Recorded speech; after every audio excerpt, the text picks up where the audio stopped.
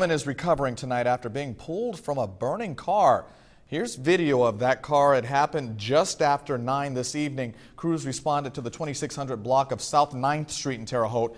The woman driving somehow lost control and hit a nearby tree. A neighbor told News 10 they saw the woman's car filled with smoke and helped get her out of the car. Rescue workers treated the woman on the scene. The crash remains under investigation.